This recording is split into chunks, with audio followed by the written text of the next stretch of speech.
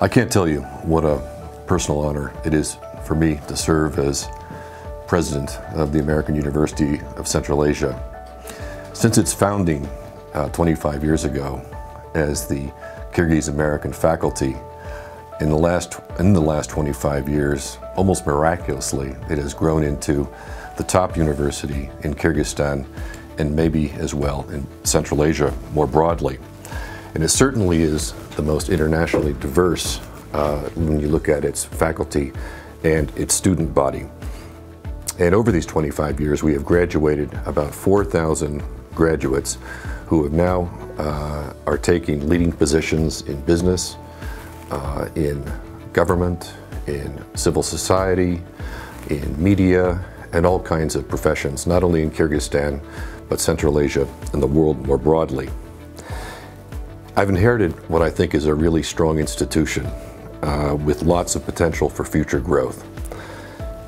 What could be more personally satisfying for me uh, than to make contributions to the development of this institution for the training of uh, young people who will be leaders in this part of the world.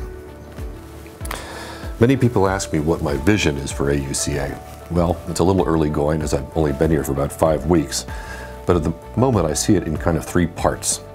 And the first part really is to build upon the vision of the founders of the institution, which is to develop an American-style liberal arts college or university in Central Asia, of which uh, none had existed and pretty much no other institutions like AUCA exist. I had the privilege of attending Amherst College, one of the top uh, liberal arts colleges in the United States. And the key things that I learned there that I think are relevant for AUCA are the development of skills of critical thinking, and especially the ability to express myself in written and oral fashion in a really clear and compelling way. These are key tools that have served me in a lifetime uh, in my career in various uh, jobs and positions. They, uh, know, no matter what technical field or specialization uh, one may get into, uh, be it law, be it business, be it high technology, be it engineering, you know, they're built on a foundation of the ability to think clearly and critically and the capacity to express oneself uh, in a clear and compelling fashion. Clear and logical expression, this reflects clear thinking. When one is forced to write an essay, uh, you find out really quickly whether you actually understand the material that uh, you are trying to talk about or to write about. It's almost impossible for us to predict, you know, 5, 10, let alone 20 years into the future, what are the specializations that are going to be most important for um, our young, uh, our young and emerging labor force.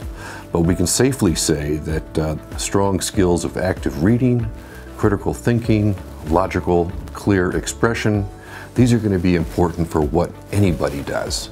So I don't think the, you have to worry about liberal arts education going out of style. The second part of the vision is sort of the obvious conclusion about, you know, what makes up a great university.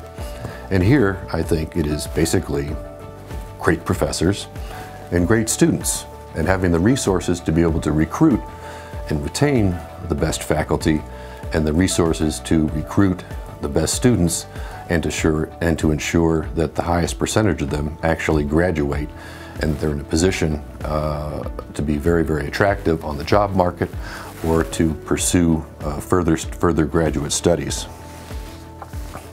The third goal is the one that's kind of most personal to me, and that is to strengthen AUCA's place not only in Central Asia, but in the wider world as a place for learning, research, and convening top experts on the most challenging international and global issues that we face.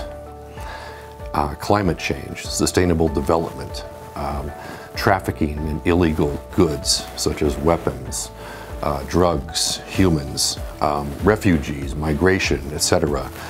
There's a long list that I could that I could provide. I came from Georgetown University's top-rated School of Foreign Service to AUCA, and as an internationalist myself, I would like to develop much stronger um, and diversified course offerings and to promote research on international issues here at, uh, on that are important for Kyrgyzstan, important for the region, and important for the wider world. Ideally, students and faculty would want to come to AUCA to teach, to study, to do research, because this would be an attractive place to do it on a number of different topics.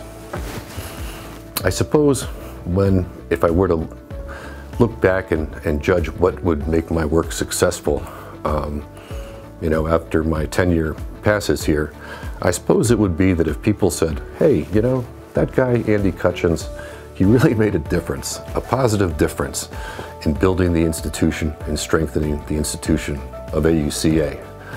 And I, it's hard to imagine, you know, something that I could feel better about, both personally and professionally, if I was able to succeed in that in the coming months and years ahead at AUCA.